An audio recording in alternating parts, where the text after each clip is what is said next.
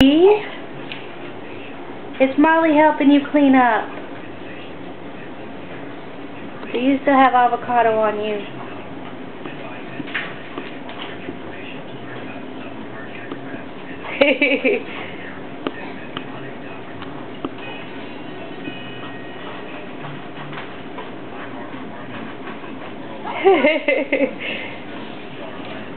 That's funny. Is that funny?